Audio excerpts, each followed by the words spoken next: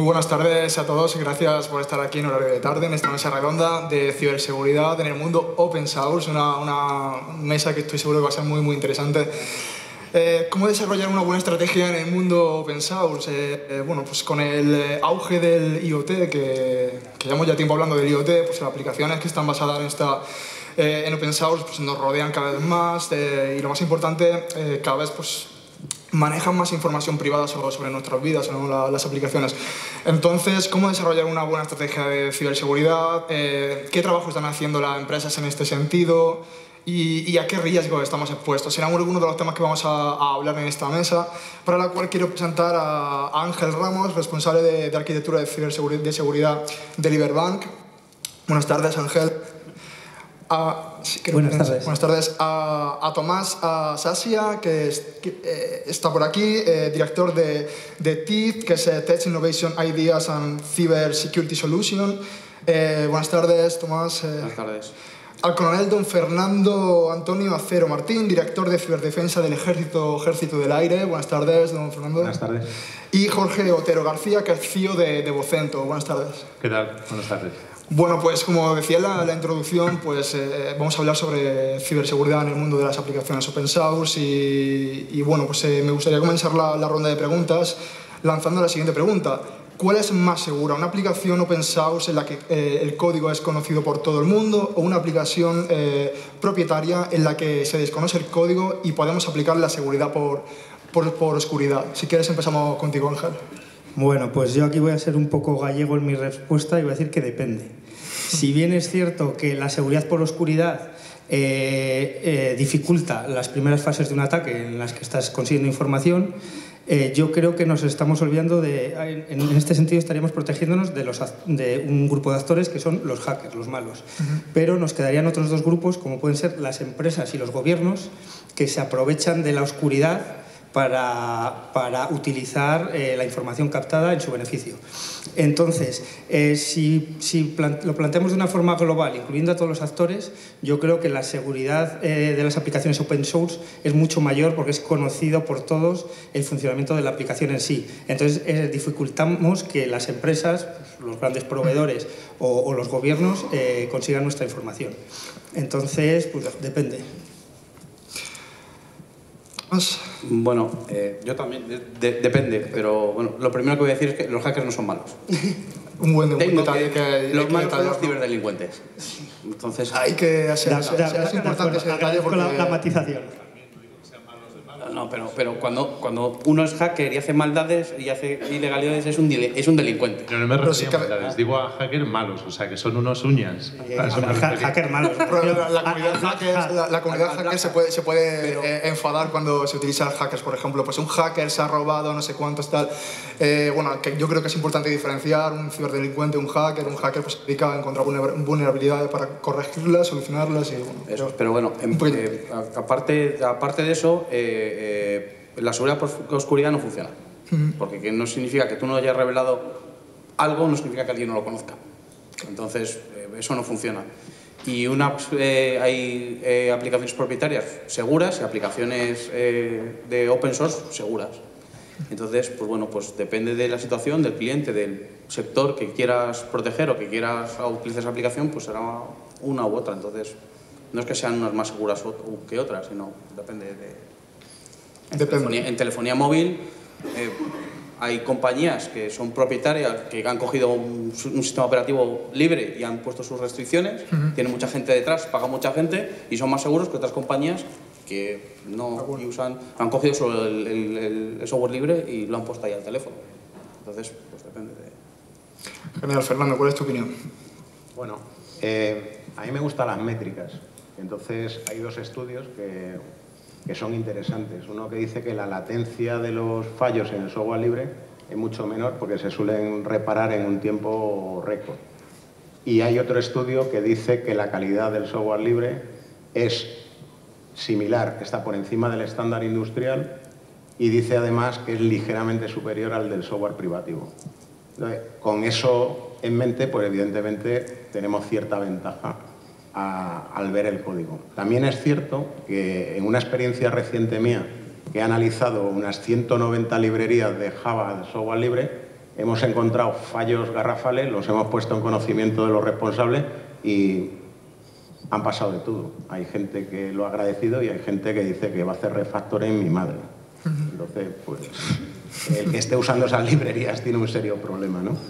Eh, es lo que pasa realmente, ¿no? Sí, Jorge. Pasado. Y yo, como me va a tocar el último, me da la sensación, me voy a tener que estar de acuerdo o no con todos. Ahora empezamos la siguiente ronda. Jodido, ¿no? Lo tengo jodido. O sea, me empieza luego conmigo porque si no, no tengo mucho que decir. No, eh, yo creo que hay un problema en el, en, el desarrollo del software libre y no, no, no, pido que estéis de acuerdo, todo lo contrario, y es que se reutiliza mucho sin saber lo que se, se reutiliza. Y eso sí es un problema o un posible problema. A partir de ahí estoy de acuerdo con lo que está diciendo, es decir, o lo que estáis diciendo. Es decir, no es más inseguro una cosa que otra, es depende de quién desarrolle o qué empresa hay detrás o qué grupo de personas hay detrás si cumplen ciertas normas de seguridad, ya está. Pero medidas desde mi punto de vista, hay un problema en la reutilización del código. Reutilizamos código open source sin saber realmente qué es lo que está, qué es lo que hay detrás y eso sí es un peligro. Pensamos que está bien y a lo mejor no lo está. Bueno punto de debate. Sí, yo creo que influye mucho eh, la empresa, la entidad que te esté integrando en tu sistema ese software. No es lo mismo bajarte un software, instalarlo directamente, que tener un integrador potente que conoce el software, que sabe sus vulnerabilidades y sus virtudes y, puede solucionar las vulnerabilidades y utilizar esas virtudes para mejorar en la empresa. Vale, bueno, no, eh, antes de, durante la presentación no, me he presentado, he presentado a mis compañeros de mesa. Soy Vicente Ramírez, de redactor jefe de la revista Cyber Security News. Y bueno, pues eh, los que igual no me conocéis, yo no vengo del mundo técnico, eh, igual pues mucho de lo que estáis aquí tratando, pues yo estoy aprendiendo de mucho de vosotros, pero una de las cosas que se lleva mucho tiempo también hablando y, que yo he, escrito sobre ello, sobre la, la seguridad desde el diseño de los dispositivos un punto muy importante que también lo recoge, por ejemplo, la GDPR, etc. ¿no? Y, me gustaría preguntaros, eh, ¿creéis o cuál, es vuestra opinión? Los grandes fabricantes de, teléfonos móviles, por ejemplo, por, por irnos al dispositivo más utilizado en el día a día, ¿están trabajando verdaderamente la, la, seguridad del diseño de sus dispositivos, teniendo, asumiendo aún así un, mayor coste que esto supone del dispositivo? ¿Qué pensáis? Ah, vamos a empezar contigo ahora, Jorge. Qué casualidad. Qué, casualidad. Eh, pues eh, también sería una respuesta gallega, depende. Habrá, habrá empresas que sí, hombre. O sea, es decir, la seguridad de un dispositivo móvil o de un dispositivo no solo depende del dispositivo, depende de la aplicación, depende de un montón de cosas que hay detrás. Luego creo que vamos a hablar un poco más de, todos estos temas. Pero eh, no sabría muy bien qué, qué decir. Es decir, cómo, qué, ¿Cuántos eh, eh, recursos tiene Huawei, tiene Apple, tiene demás a, de verdad meter seguridad en los dispositivos? Pues seguro que bastante, pero luego llegas con una aplicación que desarrolla cualquiera y te, destripa todo el teléfono, ¿no? Es decir, eh, no, no solo es responsabilidad del fabricante, es responsabilidad de todos. Bueno, yo puedo hablar de algo muy, muy curioso, que es la ciberseguridad aeroespacial. Y ahora, en la documentación eh, está empezando a aparecer el tema de la seguridad por diseño y por defecto en los sistemas aeroespaciales, porque hasta hace poco tiempo eso no se contemplaba. Era el tema del safety, que el avión no se estrelle, que funcione bien, que se certifica aeronáuticamente, pero la parte de seguridad lógica era un tema que no se estaba tratando adecuadamente. Afortunadamente, tanto la FAA como, como la Agencia Europea de, seguridad aérea eh, han empezado a trabajar en documentación y ya vinculan la aeronavegabilidad con la ciberseguridad. Y eso nos va a llevar a un cambio brutal en la manera de ver las cosas. Un avión actualmente es un avión, una máquina conectada, se conecta vía satélite con internet, se conecta con sistemas en tierra de forma direccional, intercambia información, se actualiza cuando se para en un finger, eh, a veces por un wifi normal y corriente y eso es un serio problema cuando un avión son 100 ordenadores que están volando, la media de un avión actualmente. ¿no? Eh, claro, eh, eh, dicen, no se lo tomaban en serio, en serio, pero es que hace unos años los aviones, la, yo he volado aviones con, con la radio de válvulas. ¿no? O sea, la cosa ha cambiado mucho en muy poquito tiempo y hay que adaptarse. O sea, estamos adaptando, adoptando tecnología, en el caso de los teléfonos móviles más evidente imposible, a un ritmo que es imposible prácticamente verle las orejas al lobo hasta que no pasan cosas. ¿no? Y eso no deja de ser un problema en todo lo que nos rodea, el Internet de las cosas, eh, los ciclos de actualización, el tema de la obsolescencia. Y, y eso es un hándicap que tendremos que buscar manera de paliar esos problemas.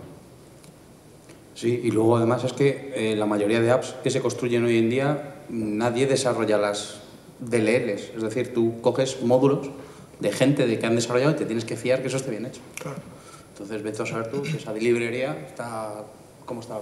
Lo que decías tú, 192 librerías de Java y, y si tu app está usando una de esas, pues chungo. Trozo todo, claro. Chungo, ¿no? Esas librerías, los fallos no eran pequeños desbordamientos de buffer, bueno, esas cosas que no se usan para nada. eh, Por un hacker nunca Nada, las aprovecha. nada, nada, no existen. No existe. Por un hacker de los malos, Ciberdelincuente. Ciberdelincuente. ciberdelincuente. Los hackers de los buenos lo usan para decirle, oye, lo que dice el señor con su equipo. Oye, no- lo hemos no encontrado, lo han reportado y no le hacen caso. A lo mejor. Realmente se las estamos recomendando al enemigo para que las Yo estoy aquí de acuerdo con, con Fernando en que estamos evolucionando a una velocidad muy, muy, muy rápida y eso va en decremento de, en detrimento de la, de la seguridad.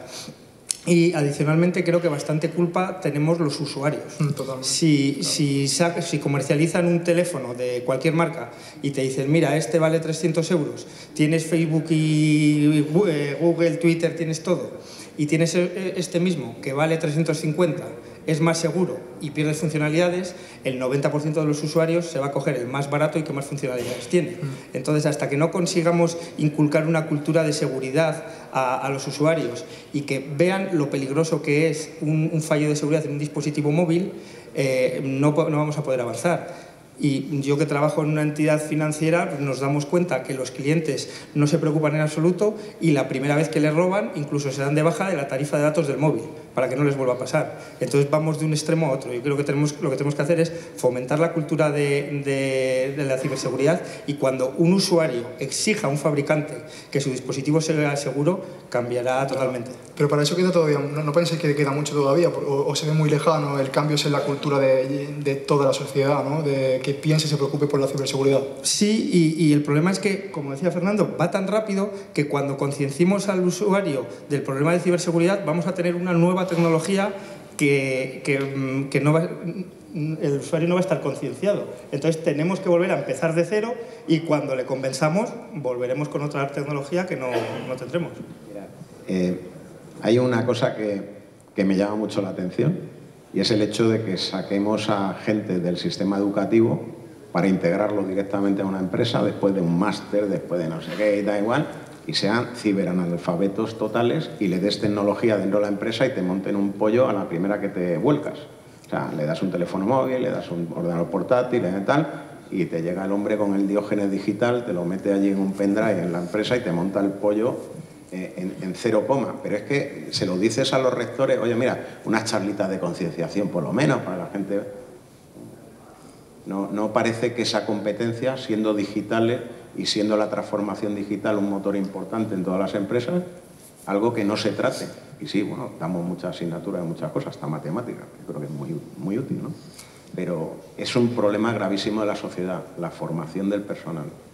Y hasta que no sufren un incidente, hasta que no les roban el dinero del banco, hasta que no publican en internet todas las fotos que tenían en, en el móvil, la gente no se conciencia porque no ve las orejas al lobo. muchas veces eso pasa y yo, por ejemplo, he, he sido consciente de mi propia piel de que, de que pues, al- me habían robado la cuenta de una determinada red social y no me había dado cuenta. La gente a lo mejor pues igual no se, igual no se llega a dar cuenta nunca de que le han robado determinada información y, y, pues eso es también un problema para Eh, comunicar. de- ¿Os puedo hacer una pregunta? Eh, estáis, eh, no, no, ya, ya verás. Eh, estáis, estáis un poco perdidos en alguna ciudad del mundo mundial y, y no tenéis ningún tipo de conexión y hay una red wifi abierta. ¿Os conectáis o no? Ni de coña. Ni de coña que sí, ¿no? No. Depende de la necesidad que tenga. Y 42 nosotros grados, no. el centro de Seúl, Vosotros vienes trabajáis- sin dormir y necesitas encontrar un hotel. Vosotros, Hablo coreano. Vo- vosotros Yo no me trabajáis- conecto a nada. trabajáis. No, no, no me conecto a nada. Eh, Yo tampoco, ¿eh? pero, pero lo normal es que la gente se conecte. Es decir, efectivamente hay una falta de concienciación enorme, enorme. Y pasa con las aplicaciones, no solo por el dinero. Es decir, si al final alguien te da un servicio X, el que sea, que es que no te lo puede dar nadie, le da igual la seguridad. De hecho, no solo le da igual la seguridad, es que todas las cláusulas que pone aceptar las pone todas del tirón. Les da igual. Pero eso es el siguiente, siguiente, siguiente, Por siguiente. eso, el- ¿qué- ese es el siguiente, siguiente, siguiente, siguiente de las Claro. de toda la vida. Entonces te conectas a la wifi, te conectas a la wifi seguro. ¿eh? Que no, que no. Pero Ya te digo yo que no. Bueno, ya para terminar el tema ¿Qué os de... parece esa linterna que accede a vuestra agenda, vuestros números de teléfono, vuestras fotos? Ge- Es una linterna, geolocalización. Seguro que es para algo bueno, Hombre, para que brille más. para que brille más. Como a mí antes, que me- se me ponía a brillar la linterna. Pues. Pues de esas existen. ¿Quién mira los permisos? ¿Quién mira las licencias? Si alguien se leyera las licencias de algo, no lo usaría, desde luego.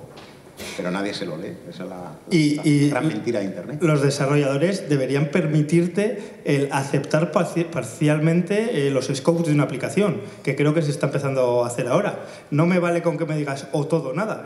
Pues mira, no te quiero dejar acceder a la, a la brújula o no te quiero dejar acceder a la, a la geolocalización. Eso se está empezando a acceder ahora porque se están poniendo un poco las pilas los fabricantes, permitiéndote bloquear eh, los sensores en función de la aplicación.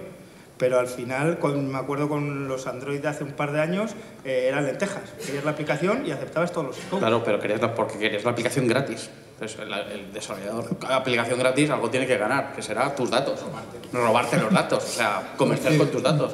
Pero lo que no puedes hacer es, lo que no se puede pretender tampoco es, yo soy un desarrollador que desarrollo un software, doy mi tiempo y no sé cuánto, lo pongo, tú lo disfrutas y yo tengo que pagar mi casa y tengo que comer. Pues de algo tengo que vivir, ¿no? Entonces, eh, lo que no hay que ser es cuando... lo Eso habéis que, que mil son, veces. que son desarrolladores, pero no gilipollas. Eh, Exactamente. Exactamente. Entonces, entonces, claro, cuando algo es gratis, el producto eres tú. O sea, y ahora, lo- el problema no es eso. El problema es que hay aplicaciones de pago que tú pagas por ellas y te están haciendo lo mismo. Y, y entonces eh, te están llevándose tus datos sin que tú lo sepas, aunque sí. La- En las cláusulas lo ponen, como Vale. las de Facebook que tarda nueve días en leértela. Yo eh, estoy de acuerdo ahí contigo en que de algo tienen que vivir, pero dime que estás vendiendo con mis datos. Dime que estás eh, que cuando me instalo la Están aplicación de la está diciendo las cláusulas, pero que son de nueve días de lectura. Claro, si, si me Y pones entonces 100 tú no folios y al tenido- final me lo dices, Claro, pues- pero tú no has tenido la paciencia de estar nueve días leyéndotelo. Porque yo te aseguro que Facebook dice que comercia con tus datos.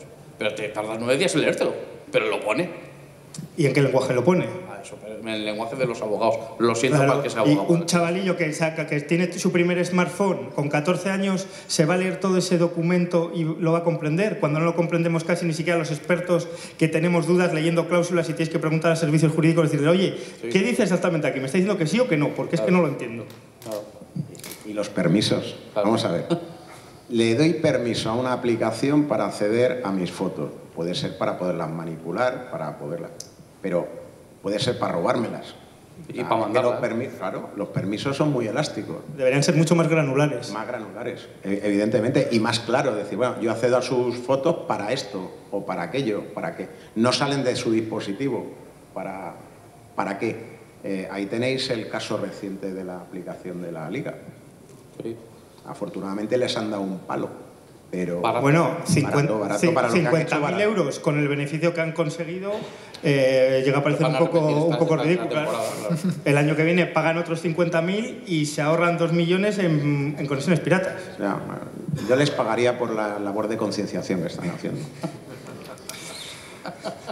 Bueno, eh, vamos a pasar a la siguiente pregunta. Eh, vamos a hablar ahora sobre sistema de vigilancia masiva. Eh, si nos vamos, por ejemplo, a, si no me equivoco, a un país como China, creo que esto pues, es muy utilizado ¿no? y, la- no sé si pues, la gente estará de acuerdo, ¿no? pero bueno, que se utiliza es una realidad.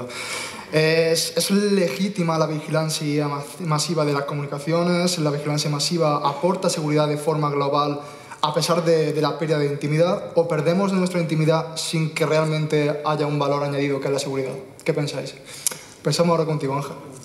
Pues yo creo que, ni- que perdemos intimidad y no nos aporta ningún tipo de, de seguridad. Y cuando pones el ejemplo de China, siempre les ponemos como muy malos, pero tendremos que ver lo que estamos haciendo nosotros o lo que nos están haciendo a, a nosotros. Yo creo que la vigilancia masiva, eh, para, después de un ataque, sirve para evidenciar que no vale para nada. Porque siempre, pues cuando hay un ataque, un atentado, dicen, salen noticias de ya tenían datos de esta, de esta persona. Cuando eh, vigilas masivamente a la gente, el problema que tienes es analizar todos esos datos. No hay manos para analizar todos esos datos y las herramientas para filtrar yo creo que no están lo suficientemente avanzadas para que sea asequible analizar todos esos datos y la evidencia es eso. Cada vez que hay un atentado, cada vez que hay un intento de atentado, siempre salen a la luz que algún servicio de inteligencia lo conocía, que algún país ya lo conocía. O sea, que creas que mm, realmente el problema está en que todavía la tecnología para reconocer o tratar tal cantidad de información eh, no está tan desarrollada y no llegan a a percatarse del individuo que puede cometer un atentado, por ejemplo. Claro, porque eh, se están poniendo filtros de eh, eh, reconocimiento de, en los emails, en, los teléfonos, pero precisamente el, el, malo es el que, el que no usa esos términos.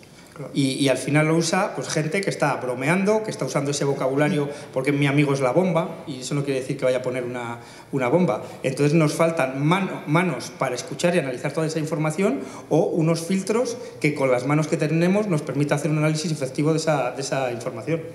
No sé qué pensáis vosotros, tú que debes ser el No da miedo de lo que estáis hablando. Vamos a ver.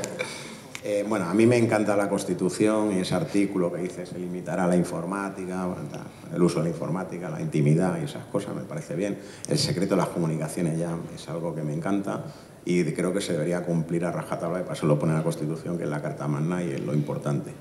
Ahora bien, eh, la falta de capacidad para analizar el volumen actual de datos que se generan eh, implica el uso de inteligencias artificiales y otro tipo de herramientas que se están desarrollando ahora de forma importante. ¿Os dais cuenta del riesgo que es salirte de la horquilla de Pareto en ese entorno? Que te quedes en el 20% de un falso positivo en un momento determinado y que te cambie la vida.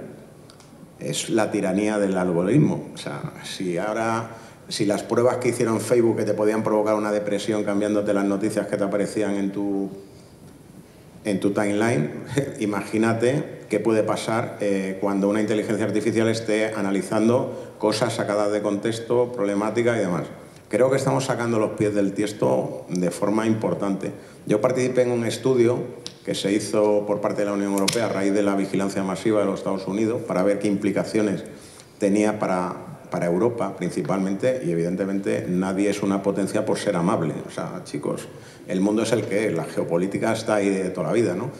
Eh, es un problema y los ciudadanos quizás deberían ser más conscientes de que tienen que ser más celosos de muchas cosas. Pues yo no tengo nada que ocultar, a mí, ¿qué tal? Sí, pero cuando lo saquen de contexto o, o, no te den un crédito en el banco...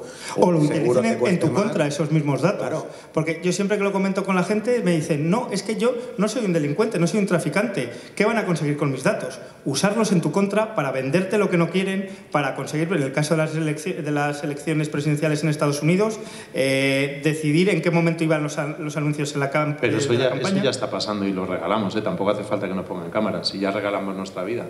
O sea, ¿qué, ¿qué, diferencia hay entre poner cámaras de, vigilancia masiva y estar subiendo todas nuestras fotos a Instagram?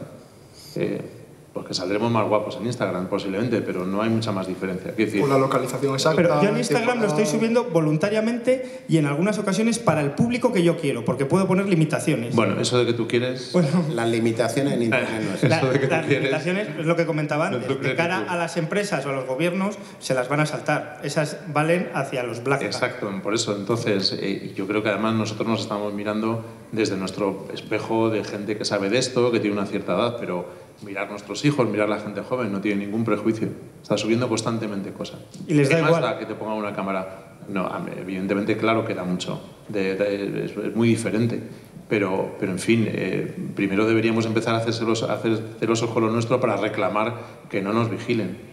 Sí, pero además es que ocurren varias cosas. Uno es, en Londres han, han puesto un sistema en el cual si te cubres la cara te ponen una multa por, de 90 libras ya es preocupante que no puedas ir por la cara, eh, por la calle y te pongas 30, bajo, 30 grados bajo cero, una. ¿Vale? O sea, te pones la bufanda y, te, y llega un, un bobby y te pone 90. ¿Vale? En Beijing, el sistema que tienen de cámaras, de 180.000 cámaras, te localiza en menos de 7 minutos. En el momento que alguien conscientemente mete tu foto y dice, estoy buscando a este tío. Si en 7 minutos tienes a la policía rodeándote. En el aeropuerto de Schiphol, en, en Holanda, lo estaban probando ya con, con biometría del iris. O sea, estás andando por el aeropuerto y están analizando sin tu consentimiento tu iris para por seguridad. Sí. pero por ejemplo, pero en California lo han prohibido este tipo de, de, vigilancia. O sea, lo mismo que están haciendo en Londres, en California no está permitido. Eh, los sistemas de vigilancia existen, existirán y, y, seguirán recolectando información y la mayor información se la estamos dando nosotros gratis por nuestro ego.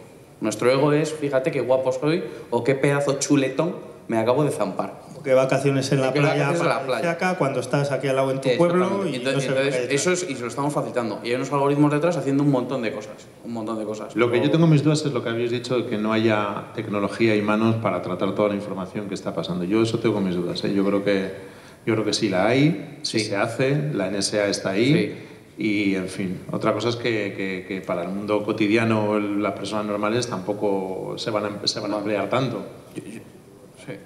Yo, yo, tengo, yo tengo una anécdota, estuve hablando de esto en una conferencia en enero en Santander sobre los sistemas de vigilancia chinos ¿vale? y americanos y llegué a Madrid después de la conferencia y, oye, qué casualidad, la semana siguiente se me estropeó el coche, la lavadora, la televisión, la radio, el ordenador, todo. Dije yo, qué casualidad, ¿no? O sea, justo.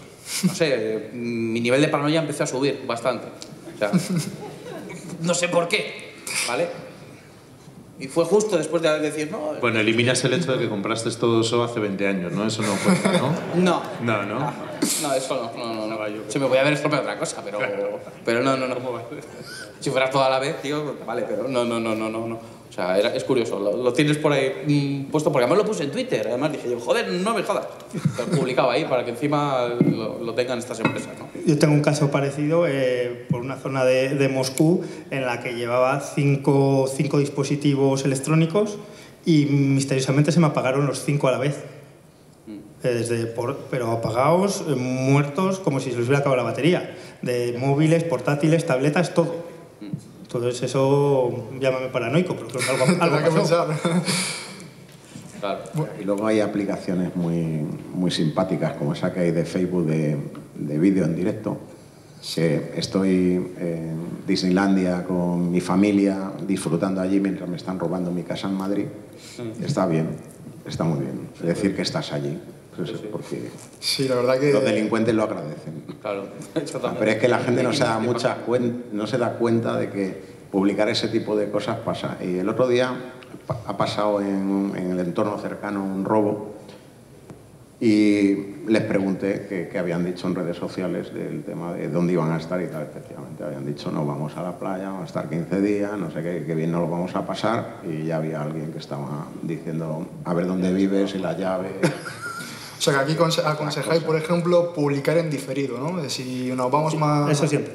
eso depende de lo que quieras. Si quieres que vengan, que si quieren que vengan a casa estando tú dentro, pues... publicamos en diferido. Publicamos si los quieres esperar, los quieres esperar, así bien, Hay otra solución que es no publicar y mandar a las personas que quieres que reciban esas fotos, se las mandas por email. O publicamos otra foto en la playa y la del rock bailer junto en la casa, ¿no? Ahí la foto de... Bueno, pues eh, bueno, hemos hablado, eh, íbamos a hablar sobre pues, de ciberseguridad en open source, hemos estado, estamos hablando de otros muchos temas.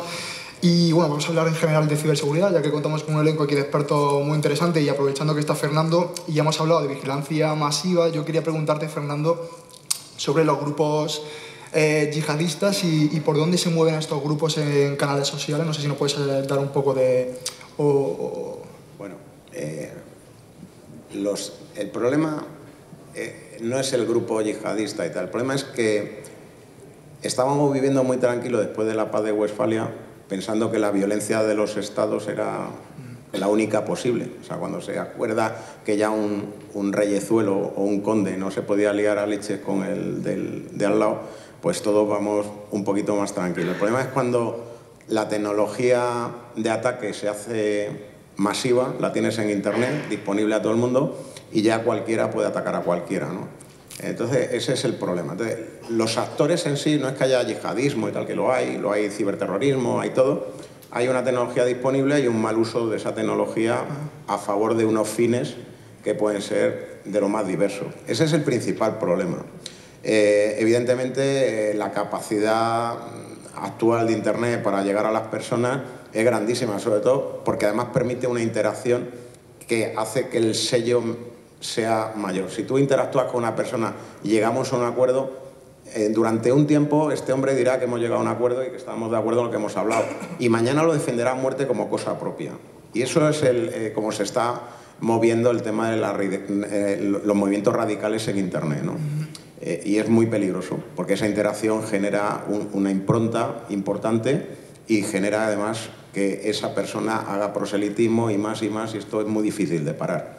Eh, en este momento eh, creo que se están haciendo muchos esfuerzos para evitar eso, para evitar ese tipo de cosas. Se está trabajando mucho en tema de ciberinteligencia para evitar ese tipo de, de, comportamientos que son claramente peligrosos y pueden llevar a situaciones muy, muy graves. ¿no? Eh, por cierto, eh, sin ser un experto en esto, ni vamos lejos de ser un experto en esto, eh, si alguien piensa que los yihadistas lo hacen por un fin alá y todo ese tipo de cosas, el negocio de ciberdelincuencia el año pasado ya genera más, más dinero que la droga. Es decir, aquí hay un negocio brutal, brutal. Y si lo, lo podemos ver como otra cosa, pero esto es un negocio. Totalmente. Vale, bueno, pues vamos a sacar otro tema que yo creo que también es muy interesante, ¿no? Y es el tema del flujo de comunicación en el sector de la ciberseguridad, porque pues para reaccionar ante un ciberataque, poderlo prevenir, pues es muy importante el flujo, el flujo de comunicación, pues hablamos de, por ejemplo, eh, los propios responsables de ciberseguridad de las empresas con instituciones como Inciber, el CNPIC, el CCN, o entre los propios CISOs, por ejemplo, ¿no? o, bueno, pues, eh, o con las empresas proveedoras. Entonces, eh, si yo os digo decirme en una escala del 1 al 10 o del 0 al 10, eh, ¿en qué punto creéis que se encuentra el flujo de comunicación entre los expertos de ciberseguridad eh, en ámbito nacional? ¿Y, por qué? Empezamos contigo. Pues yo te daría un 3, un 4. Porque a nivel personal yo creo que sí que hay relación entre los CIOs, CISOs o las personas implicadas, pero deberían estandarizarse y oficializarse esos, esos canales. Siempre tendemos a, eh, cuando recibimos un ataque, callarnos. Cuando realmente, si tuviésemos un foro adecuado, transmitirlo. ¿Y por qué el callarnos? Eh, eh ¿Cuál es el principal pues, motivo de.? Desde por, miedo a... Por, miedo a sanciones, por miedo a, a, que un superior te diga por qué te, por qué te la han colado yo creo que eh, en función del tipo de ataque pueden ser muchos factores por, por lo que los nos callamos y no he visto a nadie que, que le miren bien cuando habla de, de, un ataque que ha sucedido en, en su empresa. Yo como, perdona, ¿eh? yo como vengo del mundo, eh, soy CEO de Vocento y por tanto medios de comunicación, a nosotros sí nos gusta decir cuando otros fallan, ¿eh? de hecho lo publicamos. Igual, igual no o sea que, sí, sí. Si tenéis algún problema, me lo contáis. Yo ya te lo, cuento para que, ¿eh? salga, para que salga en la prensa. Está, y, lo hacemos, lo hacemos sí, sí. Yo creo que un, los de los demás. Un especial. Creo que deberíamos mejorar, mejorar esto porque el ataque que me han hecho hoy a mí, mañana te lo van a hacer a ti o una variante de ese ataque o a otra empresa y si mejoramos, mejorásemos esto, mejoraría la seguridad global de todos. O sea, yo me imagino, por ejemplo, eh, porque imagino que muchos de los ciberataques que afectan a las empresas españolas afectan simultáneamente a varias empresas. Entonces, yo me imaginaría, oye, pues el CISO o el CIO de una empresa pues se pone en contacto con otra que ha visto que se ha visto afectada, cómo van a trabajar, tal, tal. ¿Esto ocurre en la realidad o no? No, no, no. No ocurre. Y además yo creo que a la industria del software, por ejemplo, de los fabricantes, no le interesa nada que eso funcione así, honestamente. Eh, y yo conozco foros, no decisos, pero en, media tenemos foros de, en los cuales nos hablamos, nos contamos un montón de cosas y funciona, pero yo no lo veo en, en, el, en un, medio diferente y, o sea, en, un medio, en, unas personas diferentes, estos CISOs, en industrias diferentes. A lo mejor CISOs de una misma industria todavía, pero de muchas industrias muy diferentes es muy complicado. Insisto que a la industria no creo que le interese es que el tema de la ciberinteligencia también está maltratado. ¿no? Que a mí me llame un CISO diciéndome que me, ha pasado por encima WannaCry y me ha hecho polvo, no me sirve de mucho. A mí lo que me sirve es lo que llamamos nosotros ciberinteligencia actuable, que es lo que entra en mis peripetrales y me impide que a mí me afecte esa amenaza que se está moviendo por Internet. Eso es lo que hace falta, un core común de intercambio de información actuable, que podamos meter de alguna forma esa inteligencia de una amenaza desconocida que se ha convertido en conocida para que todos estemos protegidos. también tienes que tener unos perimetrales, tienes que tener una manera de intercambio y demás. Esto de compartir información, pues está bien pues, cuando voy a comprar algo y, oye, ¿qué tienes tú? ¿Cómo te va? cómo funciona esta empresa, voy a contratarle y tal. Pero para el tema de ciberinteligencia... Claro, pero es a nivel personal, a nivel de como conozco a este CISO, le llamo personalmente. No hay un organismo, un ente con el que podamos coordinarnos. Aquí, aquí hacen falta IOCs e IOAs, o sea, indicadores de compromiso, indicadores de ataque y de forma automática meterlos en los perimetrales para que eso, que era una amenaza, deje de serlo. Es, lo que funciona. Lo demás es nada, además se mueven las cosas tan rápidas. Mirar el caso de WannaCry, el de libro. O sea, en nada de tiempo estaba todo el mundo. Cuando se infectaba una máquina empezaba a buscar otra las empezaba a infectar. Entonces, la primera ronda de ataques vale, pero la segunda que hubo bueno, y la que ha habido este año en Estados Unidos, no, sé. es que, jolín, un año sin parchear el, Eternal Blue. Yo me, hago de cruce y están diciendo, ahora somos aquí los numantinos, no vamos a pagar. Llevan ahí no sé cuánto tiempo sin poder, en Detroit sin poder ir ni a pagarlo sin poder. en Baltimore, Baltimore.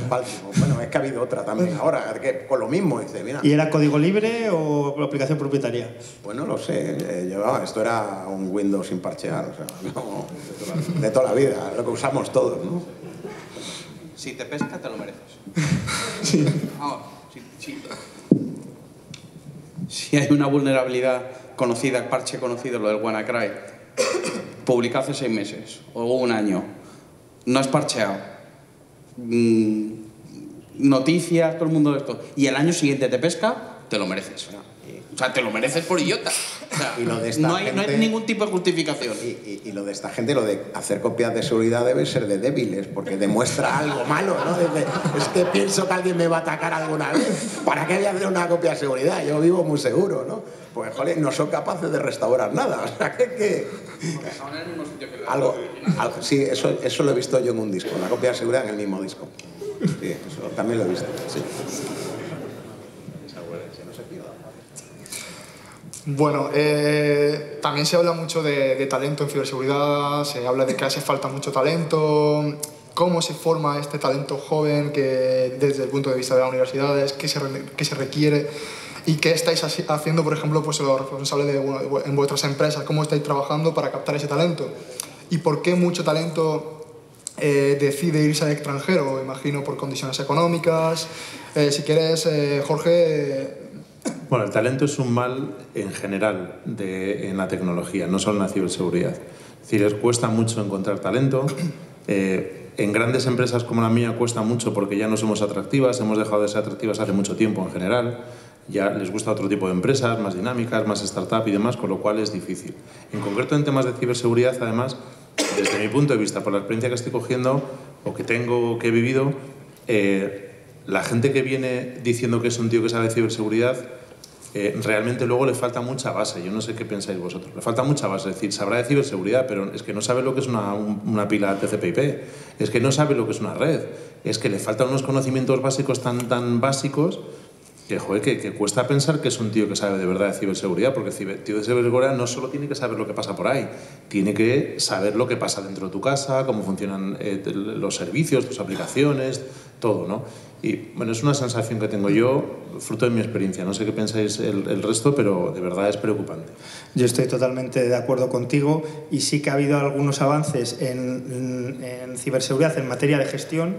Viene más la gente un poco mejor preparada, pero técnicamente no sé las universidades e institutos eh, no se han adaptado a las necesidades de las empresas y los profesionales, los estudiantes, bueno, cuando terminan dejan de ser estudiantes, yo creo que no salen lo suficientemente preparados para, para enfrentarse a la vida real.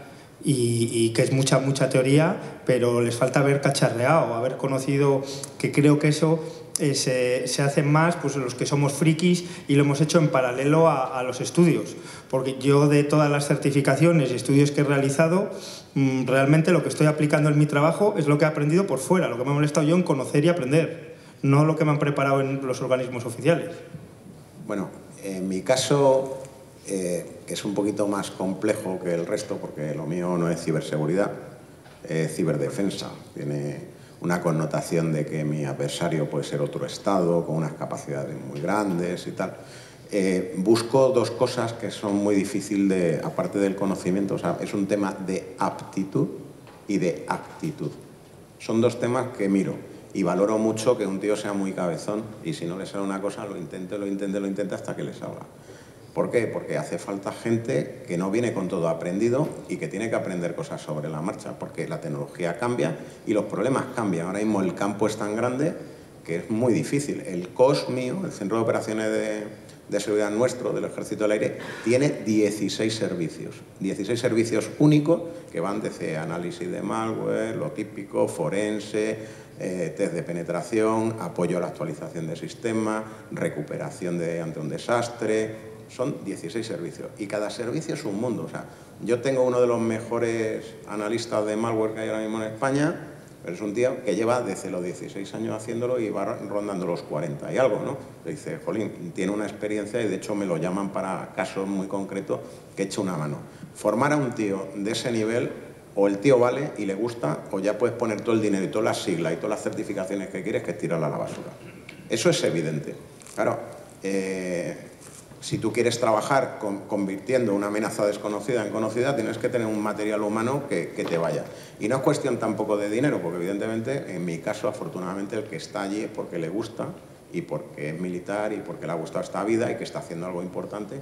Y creo que además ahora estamos cambiando la organización de forma importante porque esto está tomando una importancia tal que sin ciberseguridad no puedes operar en el resto de los entornos. ¿Sois todos militares? No, eh, tenemos ahora mismo dos personas, dos ingenieros eh, contratados de empresa externa. Eh, uno lleva tema de cumplimiento, tiene muchísima experiencia en tema de cumplimiento, que es un dolor y es un tema que... Pero, vamos a ver, esto es otra cosa que os digo. Hay un principio básico en la, en la organización que es que lo que aporta valor a la organización hay que hacerlo que sea sistemático y lo que no aporta valor hay que automatizarlo. Cosas que no me aportan valor y que me lo puede hacer alguien de, de fuera, pues prefiero que alguien de fuera coger a un tío de muy alto nivel y quemarlo allí mirando papeles diciendo esto está bien, esto está mal, para cumplimiento normativo. Y otro área que necesito continuidad y el personal militar no tiene, que son todas las pruebas de concepto y todas las investigaciones que hacemos para avanzar en un camino, cuando estamos desarrollando algo que es único, y que no lo había hecho nadie antes, pues también lo tengo contratado porque esa persona se puede dedicar a eso, a eso, a eso. Sin embargo, nosotros estamos de reuniones, de actos para arriba, para abajo, de misiones, de inspecciones y tal, y evidentemente nuestra continuidad en el trabajo es pequeña, entonces prefiero tener a alguien de fuera, pero solo para eso, tengo dos personas nada más. Si, para nosotros es difícil encontrar perfiles, entiendo que tú tendrás un, plus adicional de dificultad por el hecho de que tienen que venir de carrera militar y va a ser más difícil aún. Sí, bueno, esto es otro tema, la mentalidad militar no, o sea, yo antes era el raro ¿Por qué? Porque me gustaba este mundo, la tecnología, no sé qué, era el rarito. Ahora soy el core del negocio. Fíjate cómo cambian las cosas. Como también me gustaba el aeromodelismo y ahora se lleva el tema de los UAV. Pues mira, chicos, creo que esto es, importante en mi carrera, ¿no? Ha sido un cambio importante al final que me quedan dos años para irme. Entonces, eh, sí, sí, es lo que hay. Pero claro, en un entorno donde hay mucha disciplina, donde toda la formación está arreglada, donde no te puedes salir mucho del carril, porque yo para estar aquí hablando ahora se ha tenido que pedir una autorización para venir aquí a hablar. De este tema, porque estoy hablando de algo también relacionado con mi trabajo. Eh, evidentemente es difícil, es difícil en mi entorno, porque además es un, entorno más reducido que el resto de la sociedad. O sea, tienes que buscar a alguien de ese. Afortunadamente, eh, hemos conseguido recopilar el talento y he de decir que tengo gente muy, muy, muy buena, muy buena. Y bueno, ahí vamos avanzando y estamos consiguiendo cosas francamente interesantes. O sea que, bien. Fenomenal. Eh, Tomás, no sé si quieres apuntar algo más. No, eh, eh, la gente se va, simplemente muchos de ellos, porque fuera pagan más y aquí no. O sea, muchos de ellos es, es simplemente, para mí, dedicarte a la seguridad, como decía Jorge, tienes que conocer muchas cosas por debajo antes. Seguridad es, digamos, la capa de la tarta. Si no sabes, no tienes tarta debajo, no, no te puedes dedicar. Y luego, por último, el tema de formación. En, los, en las universidades hoy, de hoy en día, en las carreras técnicas de informática hay una asignatura de seguridad. Una. Y en las de desarrollo hay, lo preguntas y no se sabe lo que es el desarrollo seguro. Entonces, estudias una carrera de desarrollo, ingeniería del software, y no sabes lo que es el desarrollo seguro, pues mal vamos, ¿no? Y si ya hablamos de desarrollo defensivo, ya, pues, ¿para qué hablamos? No, no, ya no me meto ahí, Fernando, ya no me meto ahí. Pero eh, eh, en una, hay una universidad que tiene un grado de ciberseguridad que este año se van a hacer el segundo año. O sea, que empezaron el año pasado a hacer el grado de ciberseguridad. año 2018. O sea, 2019, el, segundo año, no hay ningún, todavía ningún licenciado ahí. Entonces, llegamos tarde. Y, sin, embargo, cada vez están pidiendo más gente en ciberseguridad. Cada vez están, cada vez, es, es un poco lo que os decía antes, es decir, cada vez hay más demanda de gente de ciberseguridad, por tanto tienen más prisa en aprender temas de seguridad para ocupar esos puestos de trabajo, con lo cual es una dinámica muy peligrosa esta. Pero Jorge, es que el problema está en que antes, el que era el técnico de sistemas, ya no existen sistemas, ahora eres técnico de seguridad, porque es que mola más. Esto es otro tema importante, vamos a ver. Yo entiendo la seguridad como parte integral de la formación global de un tío dedicado a, informática o incluso a telecomunicaciones. ¿Por qué? Porque ya a mí no me vale que un tío administre un sistema, sino lo, lo administra de forma segura. no lo administra bien. No, lo administra, es, un analfabeto funcional, no me vale, porque me va a crear un problema en la empresa. Entonces ese tío no me vale. ¿Qué le estamos formando ahí? Nada. Nada. Nada. No le estamos dando una formación válida para incorporarse a un mercado laboral como está ahora. Nosotros ahora mismo estamos cambiando todos los planes de estudio para que la formación de ciberseguridad no sea un pegote dentro del ciclo formativo como una asignatura una María, sino que se está haciendo para que forme parte integral desde el principio. O sea, cuando se habla de administración de un router, se administra la seguridad del router también. Claro, todo, todo.